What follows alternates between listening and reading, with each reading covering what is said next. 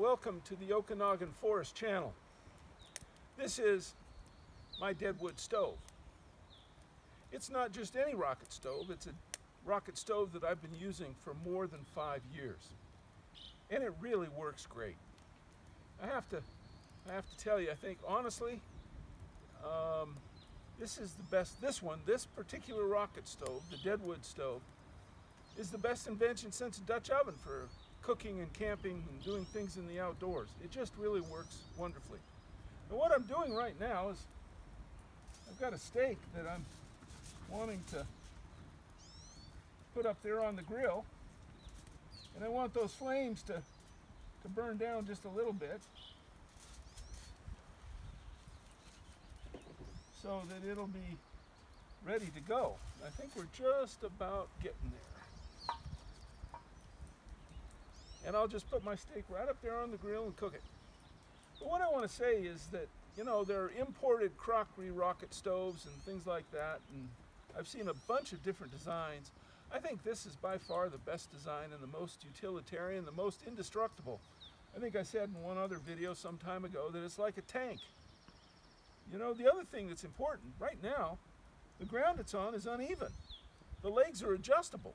So I'm just really happy with it. Let's see if we can get that steak up on there.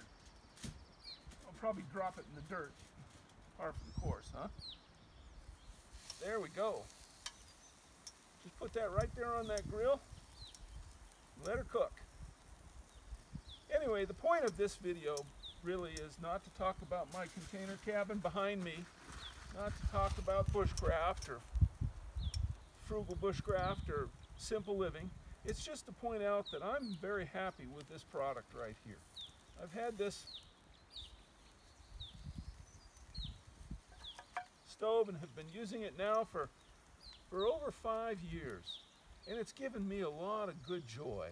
It's simple, and I might add, I picked this up about three feet from where I'm sitting now. It was just laying on the ground. And fuel is everywhere. There's lots of fuel. another, another piece right here.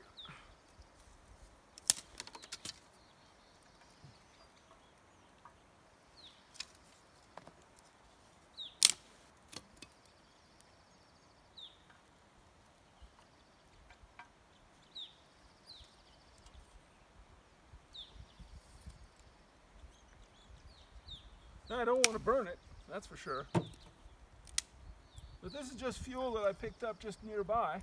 I also want to tell you that I, I, I, do have apple, which is what I started with before. Let me turn this over. Boy, that's cooking up real nice.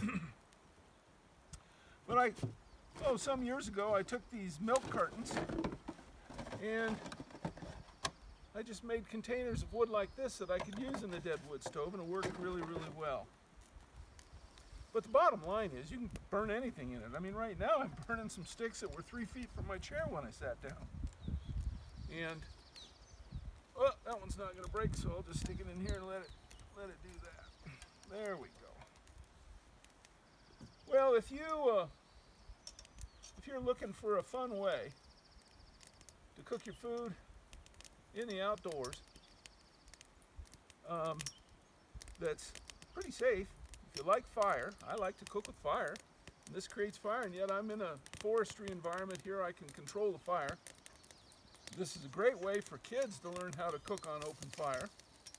And I just really can't say enough good about it. It's a simple thing. Sometimes simple things are best. So, again, if you're interested, you might check out Dead, Deadwood Stove. I think they're on the internet. But I'm not, I don't get a commission from them. I, in fact, I haven't communicated communicated with them for years. But I do know this is a great a great way to cook my food in the in the outdoors. And you know in an emergency situation an earthquake or all of a sudden you don't have the normal things that you have in life and you need a way to boil water so it's safe even something like that. So for a bug out situation that would be good too. I think my steak's almost done. It's looking good think it's time for me to have dinner. So I'm going to put that down there, right there. and I'm going to wish you well. I hope that uh, your time in in the outdoors is a good one.